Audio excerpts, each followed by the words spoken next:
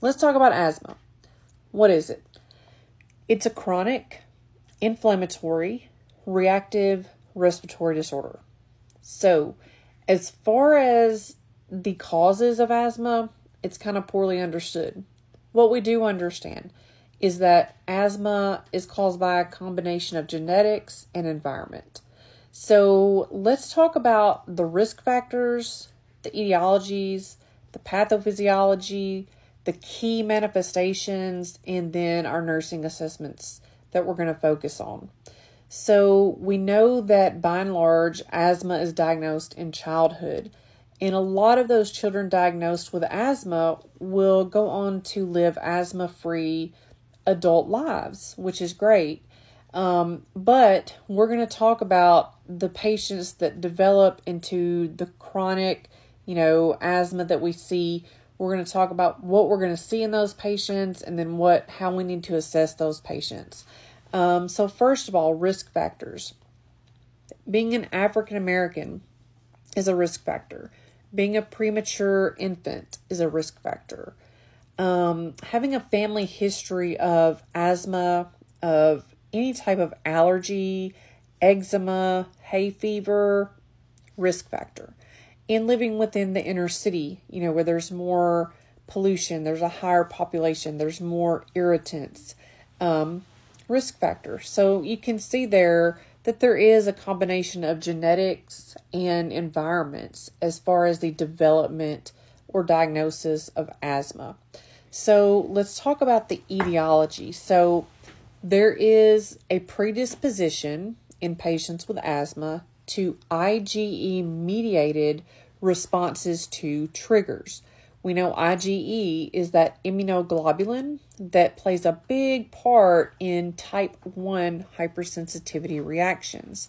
So, I break down the triggers into irritants and allergens, and there are a wide range of triggers in patients with asthma. So, as far as irritants, think of things like cigarette smoke, um, think of things like cold air um, exercise induced asthma, medications like NSAIDs, aspirin, beta blockers, those can all trigger an asthma attack because we know that asthma is characterized by acute attacks and then periods of, you know, being okay.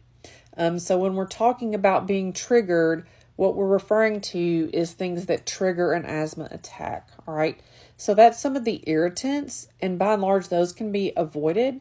Um, there's also allergen related triggers um, or allergen induced triggers, and that's you know things like pollen, um, chemicals, you know, household chemicals that we clean the house with, pet dander, things like that. So, again, breaking them down into irritant induced triggers and allergen induced triggers. So, as far as the pathophysiology of an asthma attack, so we know that there's exposure to a trigger, either an irritant or an allergen. I'm also going to throw in there an antigen because a respiratory infection can absolutely trigger an asthma attack in someone with asthma. So, the cells at play here are mast cells and lymphocytes. So, the trigger calls out the mast cells and lymphocytes to, to go kick into action. And then our inflammatory response is officially set off. Okay. So, what's going to happen now that the inflammatory response is set into motion is those cytokines are going to start stirring things up, as well as histamine is going to be produced. Remember that histamine, again, is one of those chemical mediators that plays a huge part in type 1 hypersensitivity reactions. So, once all that kicks off, because asthma is characterized by overreactiveness, it is a reactive airway disease. Um, those chemicals, that inflammatory response is going to trigger three pathophysiological processes that are responsible for the signs and symptoms we see during an acute asthma attack. Make sure you write these down. The three pathophysiological processes that we're going to see are airway inflammation, airway edema, and bronchoconstriction. All right.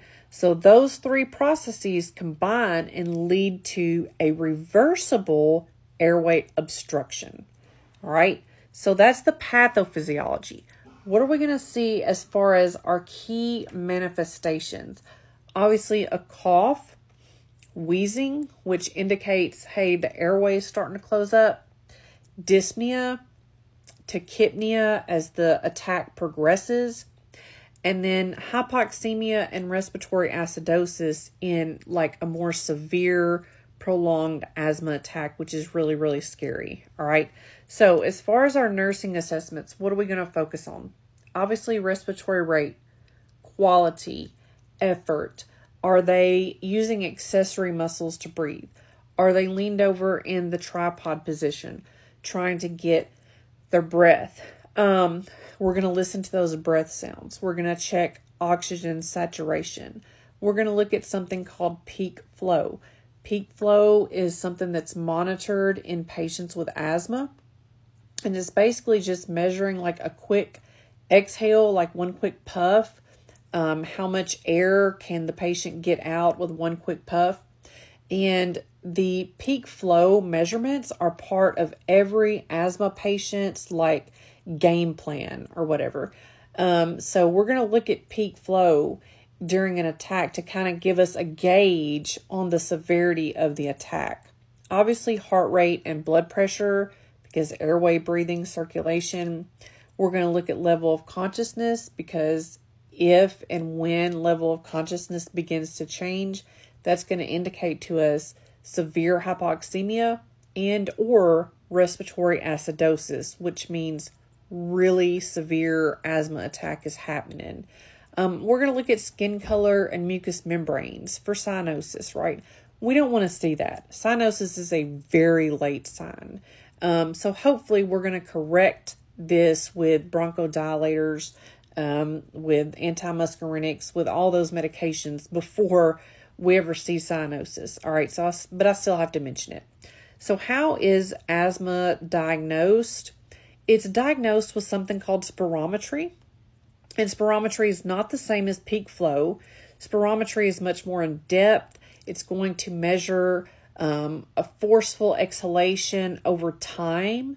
And so that is kind of the gold standard of what we use to diagnose asthma, whereas peak flow is kind of what we use to gauge the severity of an asthma attack. And also we're going to watch ABGs, right? When with someone comes in um, that's having an asthma attack. We want to make sure that oxygenation and ventilation are um, not worsening as far as progressing to a respiratory acidosis. All right, so that kind of sums up asthma, the etiology, the patho, those three main pathophysiological processes that you need to commit to memory and then some of our key nursing assessments. I really hope this video has helped and happy studying and go Vols!